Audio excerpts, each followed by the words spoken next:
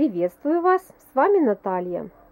Сегодня я хочу посадить розочки, которые я получила из Агромаркет. Сажать эти розочки буду вот здесь, вот в этих двух клумбах, которые находятся возле пристройки. Пристройку мы достроили в прошлом году. Еще внешние работы мы не проводили, не облагораживали. Но посадить розочки нам это не мешает. Розочки будут подрастать и радовать наш глаз. На вот этой клумбе я посажу розочку, которая называется Freedom. Это чайно-гибридная роза, очень ароматная. Саженец класса АА+, это высший сорт. Вот такая она на вид, эта розочка. Очень красивые эти розы. А на этой клумбе я посажу другую розу. Роза тоже чайно-гибридная, называется Белла Вита. Саженец высшего сорта. Вот так выглядит эта роза.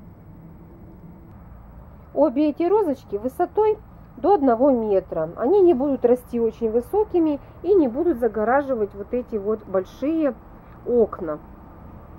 Перед тем, как посадить розочки, нужно обязательно их подготовить к посадке. Для начала нужно снять вот этот вот защитный черный слой пленки. После того, как мы аккуратно распаковали э, нашу розу, убрали черную пленку, розу нужно обязательно осмотреть. Корни у этой розочки при упаковке были завернуты вверх. Это, конечно, не очень хорошо, но при посадке мы это все исправим.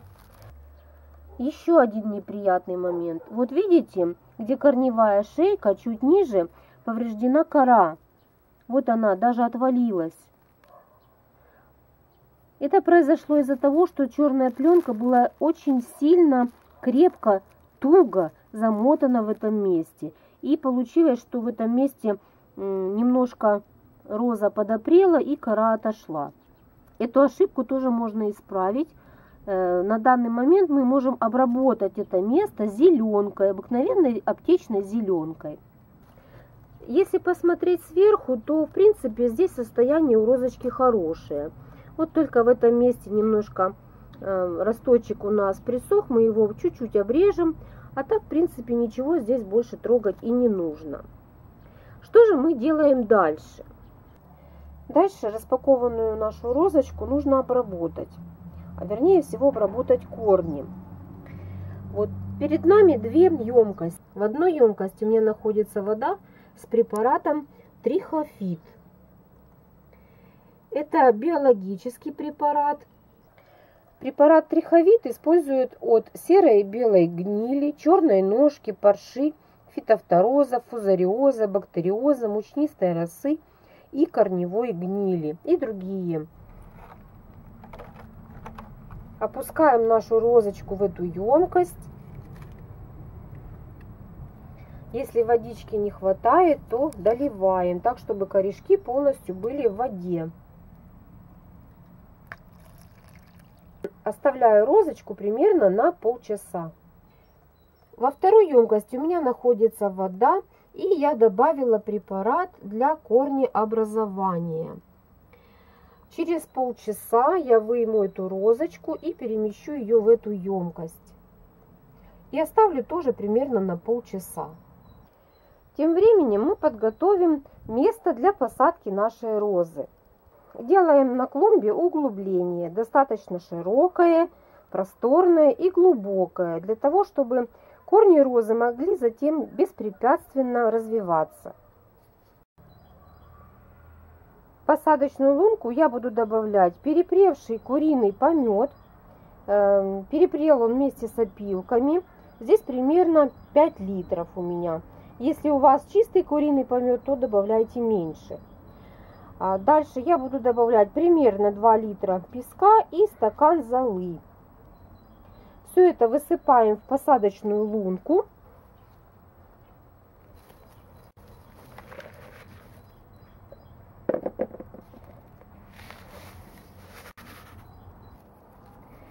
И тщательно перемешиваем вместе с землей, чтобы получилась однородная такая смесь. Теперь в посадочную лунку добавляем воду.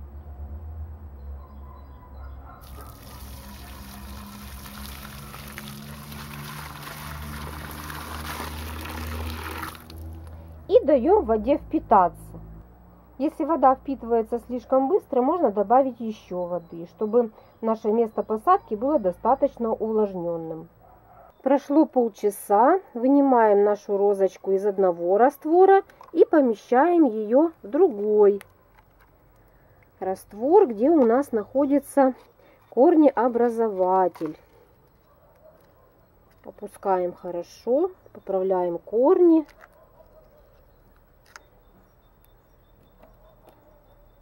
При необходимости добавляем воду, чтобы корни полностью покрылись нашим раствором водным. И ждем еще полчаса.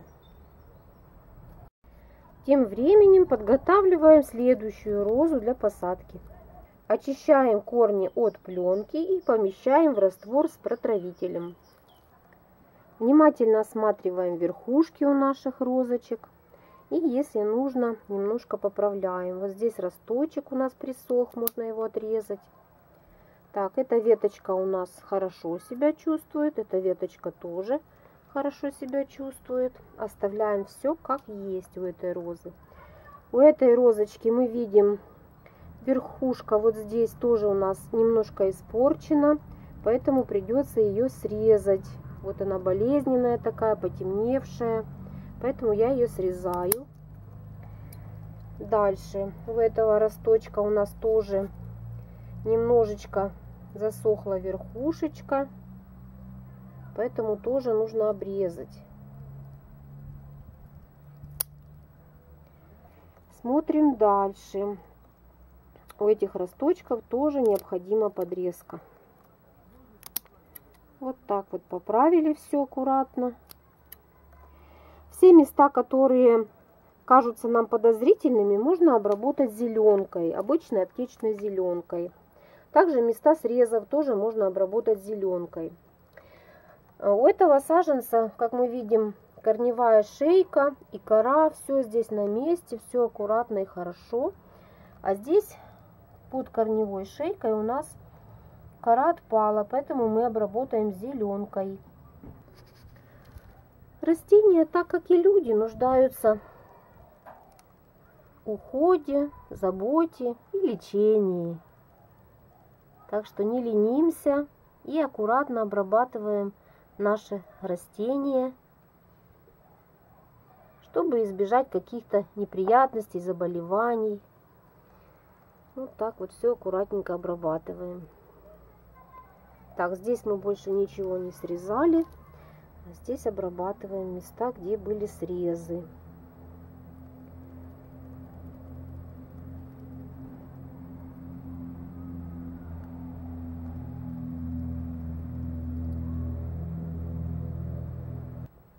Все места, которые нам кажутся подозрительными, аккуратно обрабатываем. Вот отмокли корешки у нашей розочки. И теперь мы видим, какая здесь корневая система.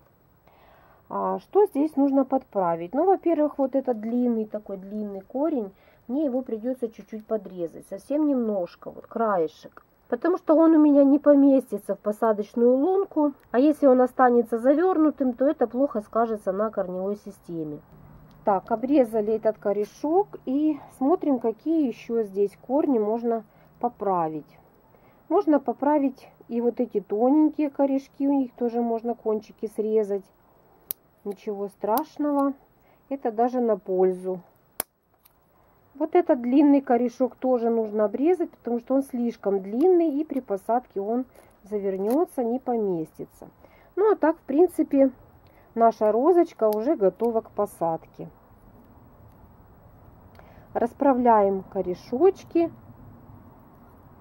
чтобы они не были завернутыми, чтобы они прямо уходили в землю. Приступаем к посадке розы. Для этого мы опускаем розу в посадочную лунку, выпрямляем все ее корешочки, чтобы они вот туда вглубь, в землю уходили. Если нужно, все это поправляем, заливаем водичкой и выставляем розу так, чтобы корневая шейка вот эта вот находилась примерно на 3-5 сантиметров под землей. Я использую обыкновенный инструмент, вот так выкладываю его и вижу примерно уровень земли, который у меня будет. а, после посадки. Почему нужно заглублять корневую шейку? Потому что корневая шейка может вымерзать зимой или э, может повреждаться, или может болеть, если она будет находиться над поверхностью. И от этого, конечно, будет э, и страдать само растение. Если сильно заглубить корневую шейку, это тоже плохо, потому что в глубине она может подгнивать, и растение наше будет страдать. Поэтому делаем все так, как нужно. 3-5 сантиметров под землей. Теперь подсыпаем в нашу лунку земельку аккуратно и слегка утрамбовываем, только слегка, чтобы корни плотно соприкоснулись э, с почвой. Если нужно розочку, поправляем, если она на один бок у нас наклонилась. Вот так вот. Засыпаем и слегка утрамбовываем. Слегка. Почва у нас внизу влажная, влаги хватит надолго. После посадки можно длительное время розу не поливать. Продолжаем засыпать. Засыпаем так, чтобы спрятать нашу корневую шейку. Ну вот, наша розочка и посажена. Корневую шейку мы заглубили, спрятали. Сильно землю не приминаем. Делаем вот такой вот небольшой круг. Сюда затем будем поливать. На первое время старайтесь водичку вот не лить на это место, где э, корневая шейка. Поливайте вокруг. Влага достанет до корней и розочка, как говорится, напьется. Вот этот росточек, который завернулся у нас вниз, он со временем выпрямится, поднимется к солнышку.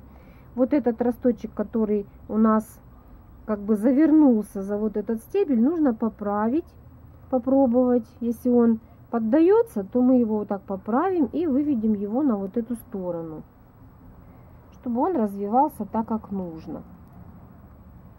Вот так вот. Значит, что еще нужно сказать? Первое время, как только мы посадили розы, примерно неделю, а может быть даже и две недели. Все зависит от погодных условий и температуры воздуха розу необходимо притенять от прямых солнечных лучей. То есть здесь вот нужно поставить ограждение, и чтобы солнечные лучи не попадали первое время на наше растение. Таким образом мы дадим нашей розе адаптироваться. Чтобы наша розочка прижилась, э, начала развиваться корневая система, а затем уже э, откроем ее солнышку и дадим возможность развиваться наземной части. А сейчас мы приступаем к посадке второй розы. Все проделываем точно так же. Вот и посажены две наши розочки. С этой стороны я выбрала чайно-гибридную розу Freedom, потому что она более теневыносливая. С этой стороны у нас часто бывает тень, поэтому ее место здесь. А с этой стороны, на этой клумбе, более солнечное место. И здесь свое, так сказать, место, свой дом приобрела розочка Белла Вита, чайно-гибридная. Ну что ж, пожелаем нашим растениям расти, развиваться и радовать нас. С вами была Наталья. До скорых встреч!